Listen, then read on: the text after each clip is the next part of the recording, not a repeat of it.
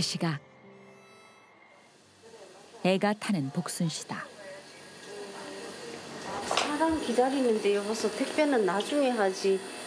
택배는 뭐 택배 다 했는데 뭘 아 그러니까 풍산 나서 붙이면 되지 그렇게 시간을 끌어. 지금 물건 찾아갈 사람이 자꾸 왔다 갔다 하는구만. 빨리 와요. 알았다 지금 여기 풍- 남편이 늦은 이유를 모르는 복순 씨는 속이 터진다. 손님이 머리를 다 하고 있으면 얼마 말이로.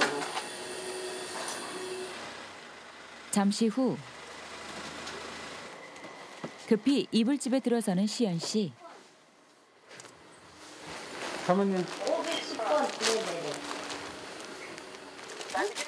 대꾸 없는 아내 대신 처제에게 이불 겉사개를 건네는데 솜이 바닥에 깔리는 거 배로 맞아요? 어, 그하고 두 장 있어. 성이 난듯 자신에게만 냉랭한 아내 때문에 눈치가 보이는 시연 씨. 곁에서 서성거리는 남편에게 눈길 한번 주지 않은 채 복순 씨는 손님과 통화를 하며 작업장으로 향한다. 한목이 다르더라고. 기다림이 길어지자 이불만 맡긴 채 돌아간 손님. 일의 우선순위를 모르는 남편 때문에 화가 난다. 택배를 이거를 먼저 갖다 주고 택배 붙이러 가야 되는데 볼일을 다 보고 들어오니까 이렇게 늦어지잖아요. 고객이 우선이지.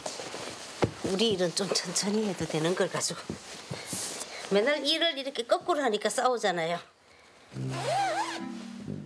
사실 평소 툭하면 작업장을 비우고 시내에 나가거나 다른 볼일을 보느라 늦은 남편 때문에 일에 지장이 생긴 적이 덜어 있어 아내로선 오해와 불만이 생길 수밖에 없는 상황이다.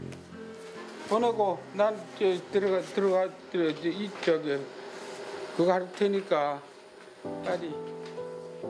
아내 눈치를 보던 시연 씨.